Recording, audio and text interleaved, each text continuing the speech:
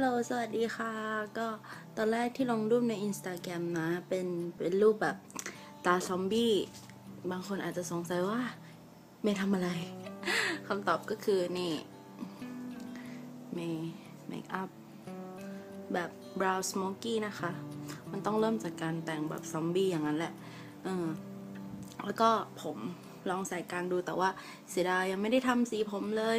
นี่มันก็เลยแบบดู ไม่เวิร์กนิดนึง ก็เลยถ้าถ่ายรูปต้องถ่ายแบบแค่นี้ เดี๋ยวไอ้จะไปทำสีผมแล้ว เดี๋ยวจะทำทรงแบบนี้เอาจากบ้านแสกกลางอะก็ถ้าคนไหนอยากให้ทำ how to แบบว่า อารมณ์ประมาณนี้